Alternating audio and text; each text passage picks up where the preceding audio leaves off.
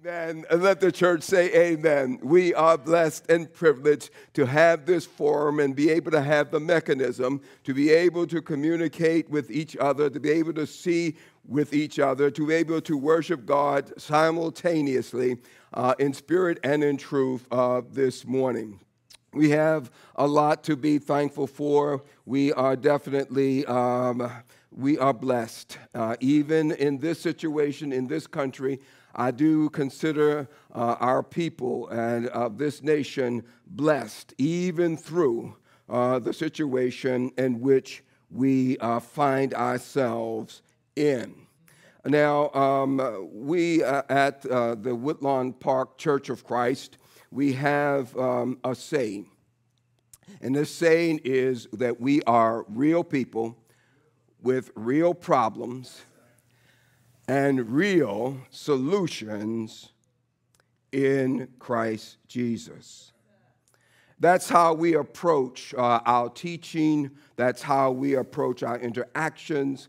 That's how we approach our relationships and uh, even our expectations of ourselves and uh, of others. Real people with real problems.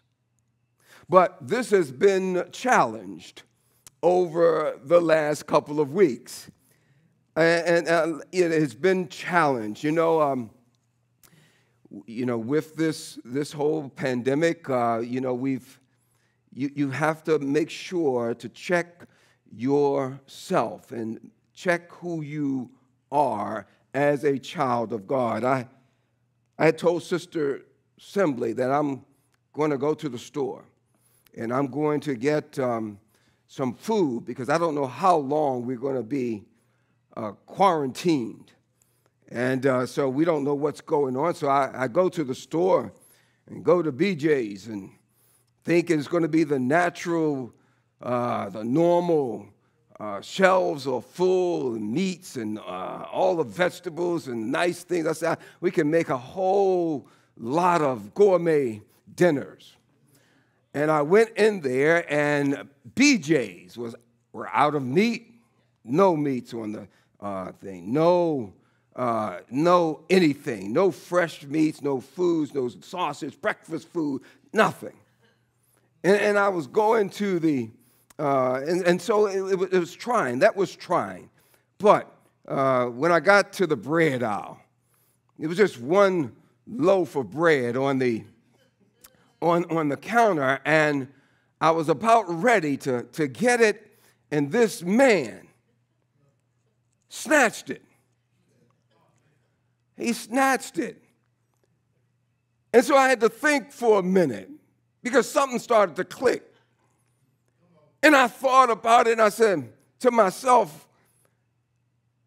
he's real people with a real problem and I'm about ready to give him a real solution to his problem. And, and, and, you know, and that, that was it was bad because my solution was not the right, the right solution. See, I, t- I was getting ready to tell him, I said, You're gonna, I'm gonna give you a choice. You're gonna make a choice of these two. Either I can teach you the gospel right now, or I can shoot you. That's not right, y'all. You know that's right, right? That's not right. So we have to watch and ourselves during this challenging time to remain true to who we are. We are God's people, and so we have to understand that God is still in control. We need to know that. Our text is going to come from Romans, the fifth chapter. Romans, the fifth chapter, uh, and uh, we're going to look at, uh, we're going to really focus in on verse number 12. So I want you to get your Bibles there. Uh, over the past couple of weeks, we've been uh, doing lessons that are comparing and contrasting the enormous social and physical effects and impact of this deadly invisible coronavirus pandemic with the even more prolific, deadly, spiritual impact of the invisible disease of sin within men and women. The first two messages in this series has been entitled the first one is the ignorance of the invisible and then the, the second one was the new normal. And they are on youtube and they are archived there if you need to go back and review. But today in romans 5 we will focus where Paul, through the Holy Spirit, actually knocks this comparison contrast, this thought out of the park with a comparison, contrastive parallelism between the work of Dr. Jesus the Christ in producing sanctification, justification, and ultimately glorification, and the work of men through Adam and its results of sin, death, and ultimately spiritual damnation. Now, Let's read Romans, the fifth chapter, and verse 12. The Bible says, Therefore, just as through one man sin entered the world, just as through one man sin entered the world, and death through sin, and thus death spread to all men because all men sin. And we're going to look at this, uh, this death. It entered the world. It is a spiritual disease. It is a more than an epidemic, more than a pandemic. It is a, a disease that has affected man ever since the fall. And the Bible says that it is very, very contagious. It said it spread to all men.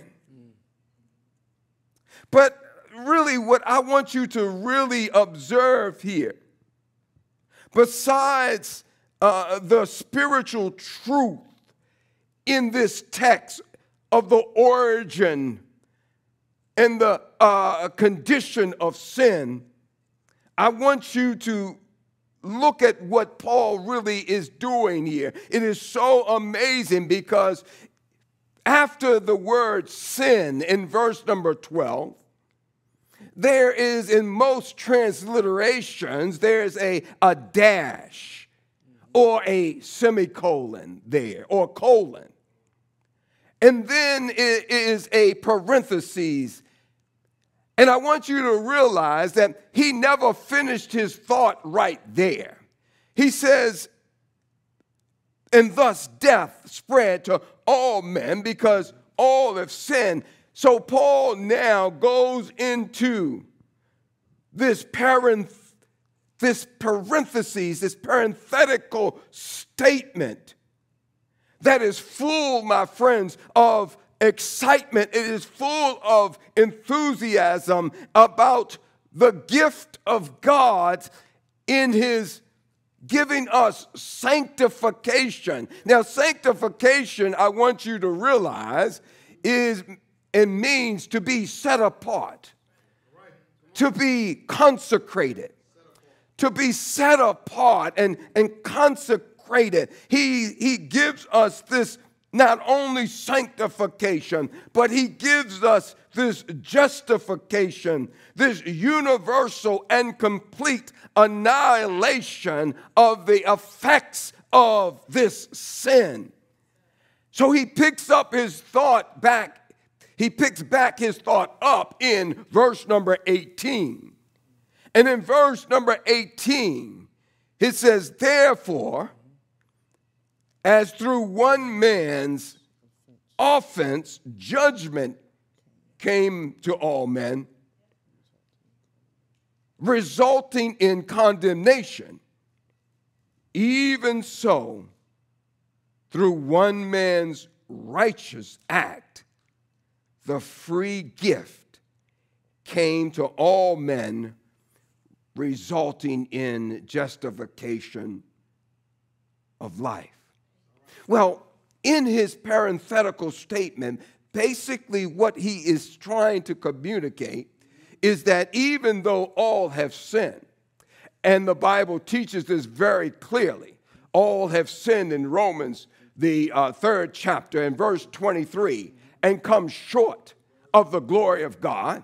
And we also know in Romans, the sixth chapter, and verse 23, he says that the wages of sin is death. Even though we know that, he is telling the Romans beyond any shadow of a doubt that God has prepared a way that we can overcome, that we do not have to fall under the strict law and dominion of this sin. And ultimately, he is going to deliver us, but what he is doing through Christ Jesus right at this moment is we're in quarantine.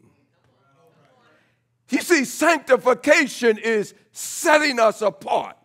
He's putting the children of God, those who love Christ, those who want to serve God, He's putting you in a spiritual quarantine. My topic and lesson for this morning is quarantined.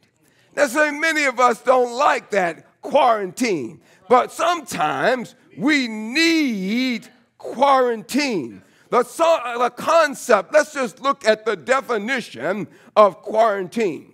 Quarantined is a state, a period, or place of isolation, of separation for which people who have been exposed to infectious or contagious diseases. The concept, my friends, have both positive and negative connotations in scripture and in spiritual application. Quarantine. My friends, the truth is that most of God's faithful, most of those who served God faithfully in Scripture were quarantined for one reason or another during the course of their life before or while in service to God. As a matter of fact, we need to probably use this period of quarantine physically and quarantine ourselves spiritually so that we can become stronger and more viable children of God. Now, sometimes God's children and, and others were quarantined for positive reasons, and other times for negative reasons, which we will look at a couple of them. But nevertheless, God understands this whole concept of setting us apart, of quarantining, even in Scripture.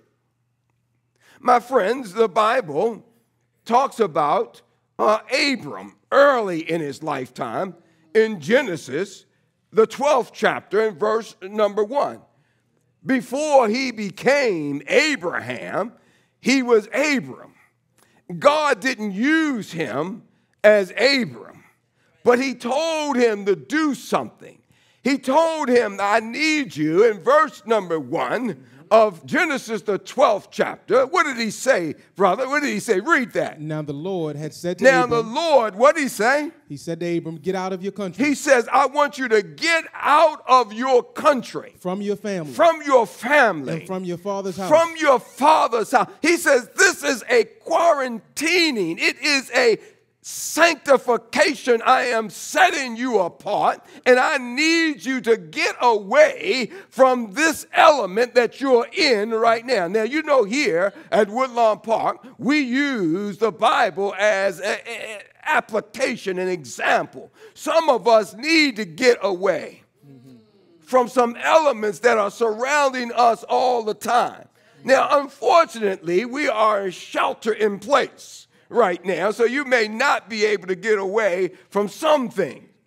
But we're talking about over the long haul, the application is that sometimes God is trying to quarantine us. He's trying to help us to get away from the elements that are pulling us down, from the disease and the effects and the impact of things that are pulling us away from Him. He told Abram, I'm going to use you, but I need you to get away. He says, from your what? Read from your family, from your family, from read. your father's house, from your father's house, to read. a land that I will show He you. says, to a land that I'm going to show you. And in your study this week, I want you to realize and then study of how long he had to stay away. This wasn't a one or two year thing.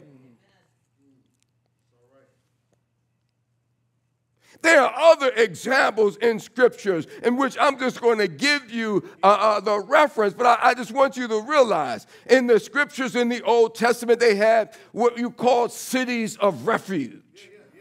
Now, cities of refuge were, were places where you were able to get away to. Basically, it was a, a, a separation, a quarantine site. Uh, sometimes it was quarantine uh, because of sickness, but a lot of times it was quarantined because some people did some things that were mistakes they didn't really want to do. Oops, I killed you. In Numbers, the 35th chapter, in verse number 11, Numbers, the 35th chapter, in verse number 11, it talks about these uh, cities of refuge that you can read. Other times they had quarantine camps for those who were sick, particular, particularly with uh, this one disease called leprosy and they were quarantined, and God told them to take them away from the people because God knows that even in a physical sense, that sometimes if we are sick and we and there's a possibility of contagions of getting a disease and everything, we need to have good sense, sound judgment, and we need to get away from each other. We all we got work to do here. All of us can't go away from here at the same time. That's in Leviticus, the 14th chapter, and verse number 3 for your notes. Leviticus 14 and 3, as well as Numbers, the 5th chapter, and verse number 2. Israel, my friends, suffered plagues and, uh, and other type of quarantines. One time in the camp of Israel, there was sin in the camp. In Joshua, the seventh chapter, in verse 11 through 13. I want you to get that. Joshua, the seventh chapter, verse number 11 through 13. The scenario went is that God uh, had sent his people to fight and they got utterly destroyed in the battle. And that they were supposed to be God's people. And they were not supposed to lose that battle. But they lost that battle because we had something in the camp. And the something was that disease that we had talked about earlier. It is a ravaging disease and it was sin. In the Bible, in Joshua, the seventh chapter, verse number 11, he told them before to go through the camp and find out who and what was the issue.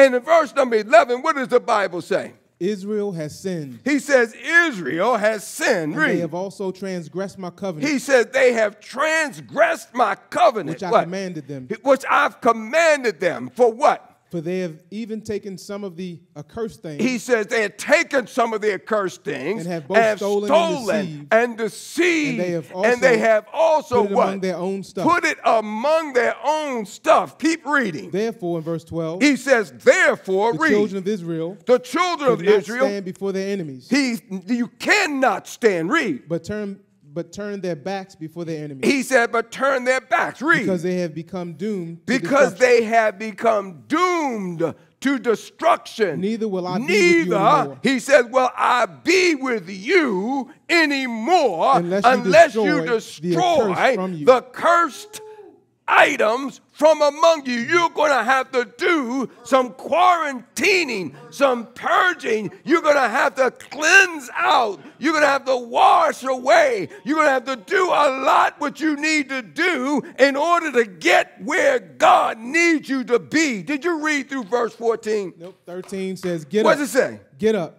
Get up. Sanctify the people. He says, look at this. Verse 13, he says, Get up. Get up. Sanctify the Get people. up and sanctify. Set up right. and say- separate. Set apart. Quarantine the people so that what? Read. And say, Sanctify yourselves for tomorrow. My friends, read the story in your own time. We could go on and on, my friend. I remember, you know, the Bible said one time Paul preached to midnight. Now, we don't have to worry about, I don't have to worry about you going home today. You already home. That's right. I could preach to midnight. That's right. I don't, no, nobody looking at me all funny and nothing else. It's fine. Just preach. Oh, I love this. This is fun. But anyway, he says, sanctify yourself, set yourself apart. I need you to go and look at what is happening. Oh, my friend, there are other quarantines. I told you sometimes it's for negative reasons, sometimes positive reasons. We don't really understand that, that Noah, my friends, and his family, Noah and his family were, were quarantined. That's right, because the earth was doomed. God had said in Genesis, the sixth chapter, that He's going to destroy, destroy the whole earth by water. And that He did. But the Bible says that Noah, with Noah and his family, it says he saved him. He saved Noah and his family. But I want you to look at Genesis, the seventh chapter, and verse number one. Genesis, the seventh chapter, and verse number one. Mm-hmm. Then I'm thinking now about Hebrews. I'm thinking about Hebrews, the 11th chapter as well. But read Genesis, the seventh chapter, verse number one. What does the Bible say? Genesis 7 and mm-hmm. verse number one. Read. Then the Lord said to Noah, He said, The Lord said to Noah, What? Come into the ark, He says, Come into the ark. you and your household. You and your household, hold it there. Someone else get Hebrews, the 11th chapter. And we only got a few people here. Hebrews, the 11th chapter, and, and verse, um, I want you to get verse number number seven. But go and you continue to read where you are. Genesis, where you are. Genesis 7 1. What did he say? Go He into the says, ark. "And Read. all of your household, because I have seen that you are righteous. He says, me. I have seen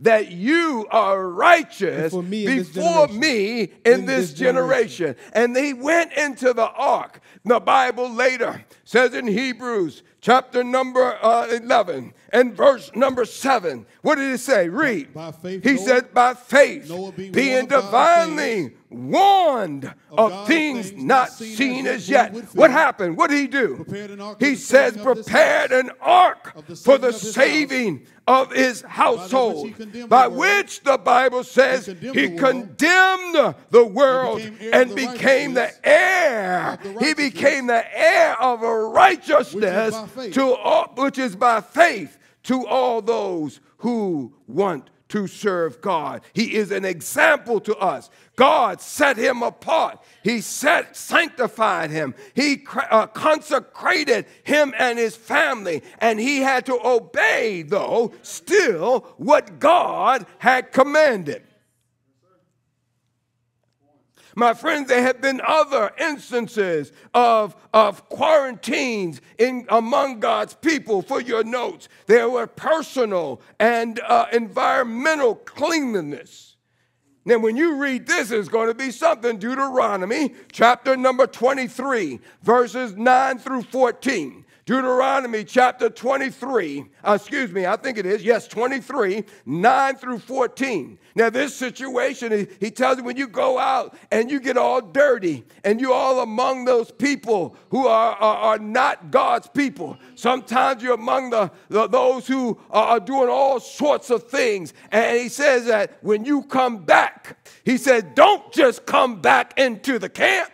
Don't just come walk in here with all those smells, all that way you got, you know, the way the way you walk, the way you talk has changed. Everything has changed. The way you look has changed. Everything is. He says, stay outside the camp, get yourself together, wash up, cleanse your mind, cleanse your body, then you come back into the camp. Any scripture you want to read there? Which Uh, verse, you want to read? verse 9. Verse 9. Verse number 9. What did he say? Read. Deuteronomy 23 9. What did he say? When Read. the army goes out against your enemies, He said, when you go out against your enemy, keep yourself from every wicked thing. come on, read. If there is any man among you He says, if any man among you, what, What? by some occurrence in the night, By some occurrence in then the he night, shall go outside the camp. go outside. He shall not come inside He the camp. said, don't come inside the camp. You are quarantined. You are quarantined.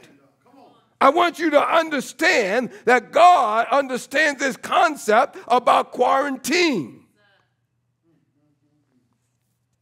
My friends, again, in uh, Joshua, the second chapter, God's people were conquering the land of Jericho, and they went uh, up to Jericho. Jericho was a fortified city. It was no way, my friends, I don't think, that they thought at first that they could conquer Jericho, but God told them what to do. But even in Jericho, in Jericho, there was a person and a family that God would quarantine, would set apart, and her name was Rahab. And he sanctified her in the city that was doomed. Oh, the city was doomed because God said it's going to be destroyed. But in Joshua, the second chapter, and verse number 12, what did the Bible say in Joshua's second chapter and verse number 12? Read that. It's Joshua's second chapter, verse 12. What did he say? Read. Now, therefore, I beg you, swear to me by the Lord, since I have shown you kindness, Yes, this is Rahab speaking. Read. that you also will show kindness to my father's house. Come on, and read. give me a true token. Come on, And read. spare my father, my mother, my Come on, brothers, read. my sisters, and all that they have, What? Read. and deliver our lives from death. yes, read. So the men answered her, Our lives for yours. Yes, read. If none of you tell this business of ours. That's right. And it shall be, when the Lord has given us the land, Yeah, read. that we will deal kindly and truly with you. Read on, Then read. she let them down by a rope through Yes. the window. I want you to remember that. Was He- she let wall. Them down by what? A rope. Mm-hmm. And, and that rope was what? He says scarlet on the wall. Read. Mm-hmm. Go on, In verse, in verse 16. Yes. And she said to them, Read. Get to the mountain, lest the pursuers meet you. Hide there three days until the pursuers have returned. Yeah, read. Afterwards, you may go your way. Come on, Verse read. 17. So the men said to her, What did the men say? We will be blameless of this oath of yours Yes. which you have made us swear, unless when we come into the land, He you says, he bind says, this look, line of we're scarlet going to be cord." blameless. He said, we're going to be blameless of this. He said, meaning we have, we, God is, God is, God is consecrating you. Mm-hmm. You, you are being, you're being quarantined. And, but he says we're going to be blameless of this. That means we're not going to be responsible if this, if these things do not happen. He said, I want you to bind, read. What did he say in In verse? verse 18. Yes, read. Unless when we come he said, lest land, when we come into the you land, bind this you line of scarlet bind cord this in the line of scarlet cord through the window, mm-hmm. which you through, let down. through which you let us down, mm-hmm. unless you bring what Your- else? your father, He your said, mother, bring your, your father, bring your, your father's mother, household to your bring home. your brothers, and all your household. Where? to your home. to your own home. And then he tells them, that you got to stay inside, inside the home, inside. My friends, you don't know what's happening here, but God is setting up a foreshadow of what it is to be in Christ Jesus. He's telling us, I've got a quarantine place. I have a consecrated place. And it is covered, the Bible says, by the blood of Jesus Christ. You see that scarlet line that was hanging out of the window in Jericho in Rahab's house is actually it, it is symbolic of the blood of Jesus that is covering the church of Jesus Christ. In Acts the 20th chapter and verse number 28, he tells us that Christ purchased the church with his blood. And my friends, when we are in his spiritual body, which is the church, uh, we have been quarantined. We have been sanctified. Not only that, we have been justified, and we will one day be glorified. I want you to understand that God is in control. He has been in control since the beginning of time. I don't have time to go through some of these others. I'm going to have time to go through some of these other quarantine uh, uh, illustrations. But coming out of the land of Egypt, since you're not here, coming out of the land of Egypt, we're going to keep preaching. Oh, this is good. He says, coming out of the land of Egypt in Exodus, the 12th chapter, verse number 12 and 13, coming out of the land of Egypt. I see the, the, that whole place was quarantined when Pharaoh was rebellious against what God's directives were of to free his people, free the children of Israel at that time, and Pharaoh got rebellious. So God sent forth what is called the death angel. But you, even those who were God's people, even those who were God's people had to stay indoors. They had to stay indoors. And in verse, uh, what verse you want to read, my brother? 12. Verse number 12 mm-hmm. of Exodus, uh, the 12th chapter. What did he say? Read. For I will pass through he the says, land of Egypt. He says, night, I will pass through the land. This is God. He said, I'm going to pass through the land of Egypt uh, on that night. And, and he says, I'm going to send a strike on all the firstborn of the land of Egypt, both men and beasts, and, beast, and against all and the gods of Egypt. Against all the gods of judgment. Egypt, I will execute judgment. He says, Why? I because I am the Lord. And I want you to understand that that means something. When you serve God, you serve a mighty creature. You might have to stay indoors sometime. You might have to stay indoors for a little while. What did he say in the he next verse? In verse, verse 13. 13. What did he say? Now Read. Blood shall be a sign. He for, says, for you. There shall be what? A, a sign. A sign. For you for you the, on the blood. houses where you I are. want you to understand the blood shall be a sign for you on the houses and where you were. So when uh, the death angel come, this is what they were supposed to do. Mm-hmm. They were supposed to take the blood of the lamb. And see, that is another foreshadow of our great God, Jesus Christ. You see, the blood of Christ covers us from all sin. You see, it's a propitiation you know, the Bible tells us that in Romans chapter 3 and verse number 25, that the blood of Jesus Christ is a propitiation, a covering. But anyway, back here, which is a foreshadow, he says, I want you to do this. I want you to take the blood of the lamb and I want you to do what? I want you to uh-huh. put it on the lintel uh-huh. of the door. Read on. What and did he say? I, and when I see the blood, he said, When I, look what God said. God said, when I see the blood, I will when pass I over you. See the blood, he says, I will pass, Pass. what? Over you. I will pass over, Over you. you. He said, You're not going to be infected. You're not going to have this plague. You're not going to have. Now, you see, we, uh, we deal with, see, we, we, we, a lot of times, we like to deal with flesh and blood. But God now, uh, we- right now, you know, we, we may die. We not may die. We're going to die. Mm-hmm. We're going to die. Time. So, so don't, don't, don't worry about physical death. Even though you need to protect yourself, even though you need to be sensible, even though you need to have common sense physically, God wants you to take care of your body. It's the spiritual death. And you see, where the blood of Christ is, is over his church. He covers the blood, he covers the church with the blood. This was a foreshadow. He said, When I see the blood, I will pass over you. My friends, keep reading that Exodus, the 12th chapter, verses uh, 12 through 13 and down, and verse 20. Go to verse 20. Can you go to verse 20? Can you go to verse 20? Exodus, the 12th, verse 20. What did the Bible say? Read. You shall eat nothing leavened. He says, look, not only that, he says, I want you to make sure that you have your dietary things in order. Keep yourself together. You know why? You see, God was prepared. They were about ready to leave. He wanted them in the right condition to leave. You're about ready to go. You see, about you're quarantined right now. Don't worry about it.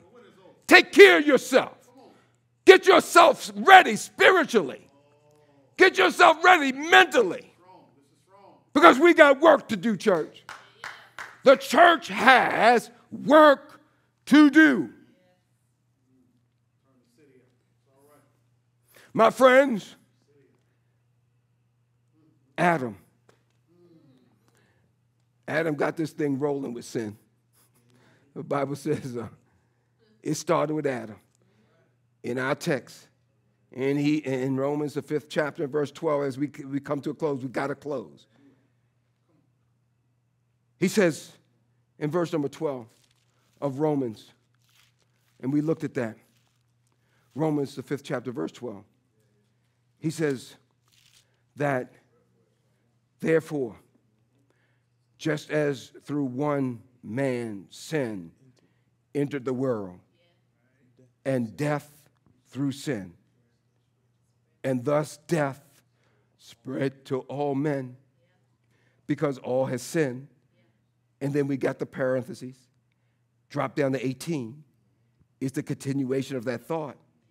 Therefore, as through one man, offense, judgment came to all men, resulting in condemnation. Even so, through one man's righteous act, the free gift came to all men, resulting in justification and life.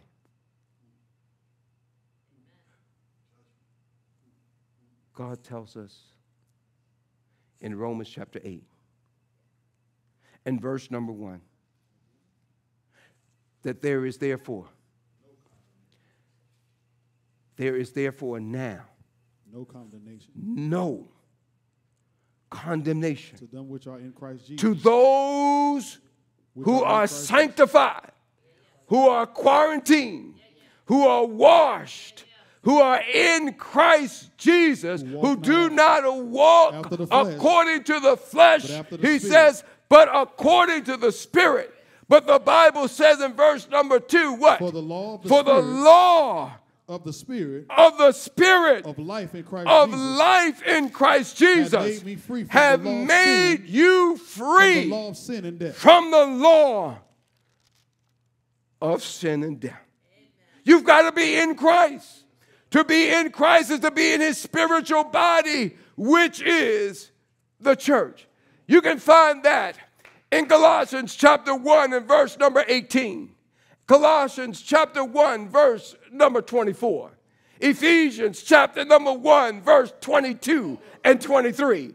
The spiritual body of Christ is his church. And we know that Christ established his church in Matthew, the eight, uh, 16th chapter, in verse number 18. He says, Upon this rock I will build my church, my sanctuary, my area of quarantine for you. And not only did he say that, he says, You're quarantined. Why? He said, Because the gates of hell shall not prevail against it. Get quarantined. Get in the body of Christ. Get in the Lord's church. You need to understand the remedy for the greatest disease ever known to man. My friend, coronavirus has nothing, has nothing on the sin problem. Nothing. He tells you in Second Corinthians chapter 5 and verse number 17, if any man be in Christ, Second Corinthians 5 17, he is a new creation. He said, Old things have passed away, and behold, behold all things, all become have become new. And lastly, as we turn to Ephesians, Ephesians, the first chapter, and verse number three, he tells us about again this quarantining. He says, Blessed uh, be the God and Father of our Lord Jesus Christ, who has blessed us with every spiritual blessing in heavenly places. In Where? Christ. In Christ. In Christ. To be in Christ is to be in his body. To be in his body is to be in his church. There is but one church, the Bible says in Ephesians chapter number four and verse number four. There is one body, one Lord, one faith. Even you are called, the Bible hope of your says, and one hope of your calling. Yes, I want you to see that. One spirit, even as you are called in one hope of your calling. One Lord, One faith, one faith, one and one baptism. That baptism, my friends, puts you into the body of Christ. You cannot get to the place where quarantining takes place if you not baptized because God says baptism puts you into that place in a number of places acts 2 38 to be one. But another one it is in romans the first uh, the sixth chapter. Romans sixth chapter and verse uh, number one. Oh my friends romans the sixth chapter and verse number one. What i want you to get them what shall we say then? Shall listen to this. what shall we say then? Shall shall, we continue in in sin? Grace may abound? continue in that disease, continue in that uh, plague that's going to cause eternal damnation. Shall you continue in that, that grace may abound? He says, Certainly not. How shall we that have died sin, to sin live any longer live therein? any longer therein? Know ye no, not you're not. that so many of That us so as were many of baptized us Christ, as were what? baptized Baptized into Christ, were were baptized into death. into death. Therefore he says, buried- therefore we, we are are buried buried with him by with him by baptism into death, death, that like like Christ was raised from was the raised from the glory of the Father, even so even so should walk in the should we to walk in the newness of life. in the newness of life. In our close. Yes, we're going through uncertain times. But it's only uncertain for this world. Jesus already prepared a place for you. He says, that's right, he says that, that where I am, that you may come. Don't put all your eggs in this life's basket. Look to Jesus, who can give us eternal life. There was a couple who wanted to follow Christ, and they really wanted to work in the ministry. So they called the preacher and his wife over to talk about uh, how they could, could work and how they could be proficient. And when they invited the preacher and, and wife over,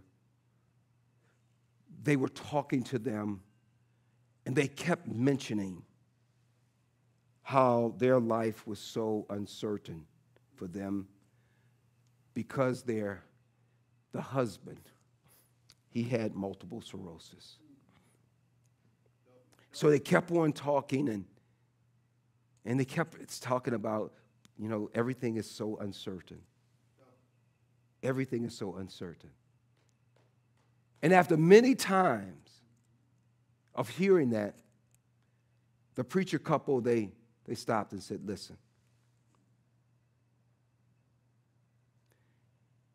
all of our lives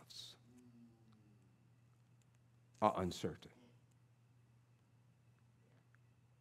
God tells us in James 4 14, whereas you do not know what will be tomorrow.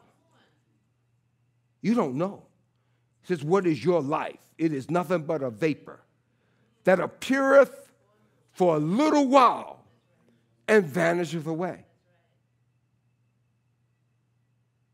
He says also, the Bible says it is appointed in Hebrews 9:27 under man wants to die. Hebrews 9:27 and he says after that he says the judgment. He says all of our lives are uncertain. You don't know what's happening. You don't know what's going to happen. But you can trust God. You can trust God when He tells you, I've got a place prepared for you. That all you need to do is to look to me, the author and finisher of your faith, captain of your salvation, Alpha and Omega of this present universe. He said to her, All of our lives are uncertain. You are just blessed and happen to know it. You see, everybody else just run around because they don't have this type of disease, this type of deficiency, this type of abnormality that you have. They just walk around thinking that they have a control on life, but you're really blessed.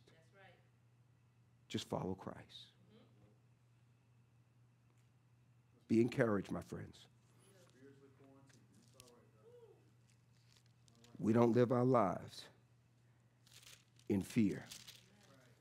God has not given us, he says, the spirit of fear, but of power, of love, and a sound mind. I hope you've gotten something out of today's message. You've heard the the gospel of Christ.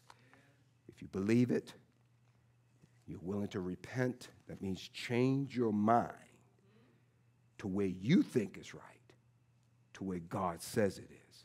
Amen. Confess Jesus as Lord, and then be baptized for the remission of your sins. In baptism, God adds you to the spiritual body, those who are the elect, he says, those who are sanctified he adds you to the body of Christ, the church, as Acts chapter 2, verse number 38. This is my prayer. We're going to go to God in prayer at this time. Dear God, our Father, we come to you thanking you, Father, for this day. Thank you, Father, for the opportunity to worship. And thank you, Father, for the mechanisms that you have given us to do that by. Father, we pray that your word has fallen on honest hearts and ears, that we are encouraged to know that no matter what happens in this world, you have already designed and prepared a place for those who love and obey you. It's our desire, Father, that we who know already may continue to strive for it and toward that land. And our prayer is also for those who are just getting a glimpse of your word will continue to listen, to learn, and ultimately obey you as their great God and Father of heaven. It's in Jesus' name that we pray. Amen. We're going to sing a song at this time. Mhm.